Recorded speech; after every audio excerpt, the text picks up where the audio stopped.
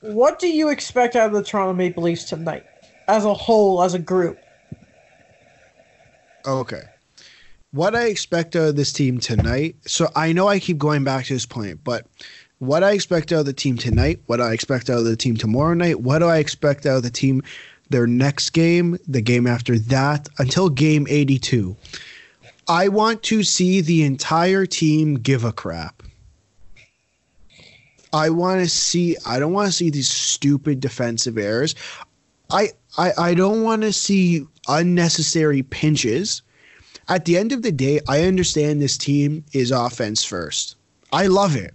I love I love seeing six goals a game. I love seeing whatever. But unnecessarily pinching, and I'm going to quote him again.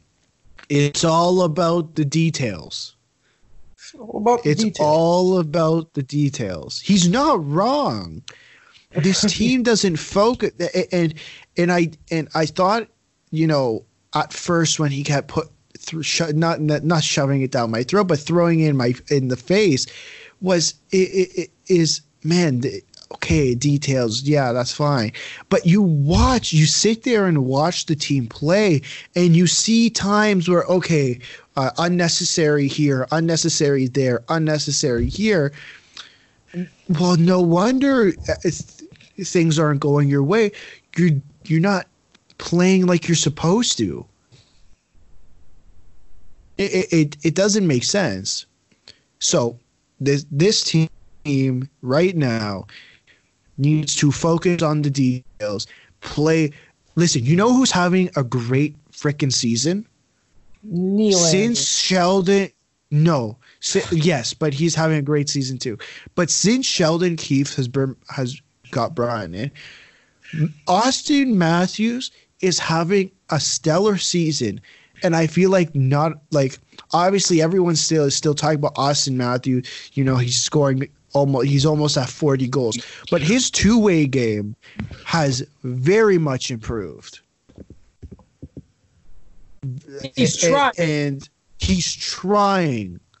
And i think that for some reason he's trying but no one's no one's saying oh you know he's trying. That must mean something. You know you look at other teams. You look at ovechkin. When ovechkin is just going out there and just crushing people you don't see ovechkin crush people for fun but when you go when he goes out there and he crushes people and he goes and gets the puck and he gets in there, that wakes the team up. For some reason that's not happening on this team. And I said it last episode. You can't play 5 minutes. Those 5 minutes that they don't play properly can cost them a game, can cost them a series in the playoffs, which it has. which It's it cost has. and it's cost It has. It has them. La- it, it got them last year. It got them the year before. It got them in 2013, and half of these players weren't even there. None of them. None of them were here. Gardiner and Gardiner and Kadri were the last two players here in 2013. Now no one. That's it. That's it. What do you expect from Montreal? Um, the same thing that I always do, and that I know I'm gonna get is I want 60 minutes. I want effort. I want them to use their speed. But one thing I expect them to be better at is they need to tighten up defensively. They have a really, they're, kind of like the Leafs in that regard. That sometimes like the defensive collapses they can have are a real big problem. Uh, especially with Shea Weber being out, they called up Laval captain Xavier Ouellet, who's had a really good season in the AHL. But again, how much does that really matter? It's going to be down to Jeff Petry to take up arms there and you know turn into. The, he's always better when Weber's not healthy, which is the weirdest thing. So it's going to be up to those young guys. And God, I cannot hope. Apparently, Drouin has the green light but it's up to him if he's going to play tomorrow. Remember, he was only supposed to be out eight to ten weeks. That was in the middle of November. We're now in February.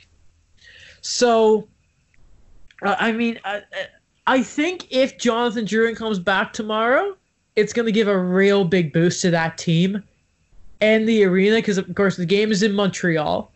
And that's a very big factor. Is of course, Leafs fans love to travel there and I'm a bit biased here because, of course, I'm going to the game, and I really do hope that the lads put on a good performance. But I know Carey Price has been better, so you can expect him to be it. But the big thing is, is you know, capitalize on the Leafs' mistakes if they make them, because when the Leafs are on, they're a scary team. And I don't know. I just I want my boys to play a full 60 minutes and learn how to play the last minute of a period, really, because they're still allowing goals in the last minute. They did that against the Devils, I think. But I think that's I think we're good beside that. That's what I expect out of my team.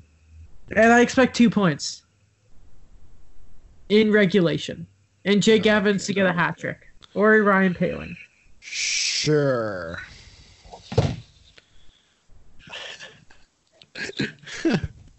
it's not gonna be a fun episode on Wednesday. Uh it's not. It's not. Well, don't forget last time this happened, the Habs won and you just ignored it. you, you What like, mean I ignored it? you just ignore that even happened. So let me tell you, if the Habs lose this game, I'm gonna pretend it never happened. Okay, that's funny. But anyway, I'm still going to talk about it. well, and I'll do the same if we win. Okay, When we win, if you would. it's gonna be a big win, massive win. Habs are gonna win. Uh, Anyway, yeah, sure.